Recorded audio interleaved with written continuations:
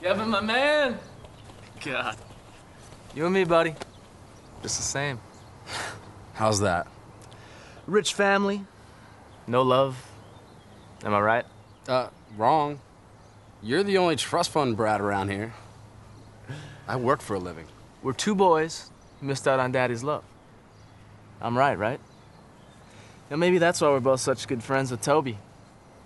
He's like the grown up. I'm not friends with Toby. He's my boyfriend.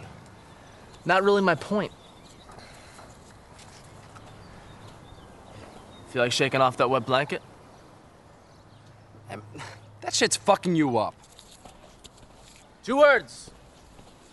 Buzzkill. That's you.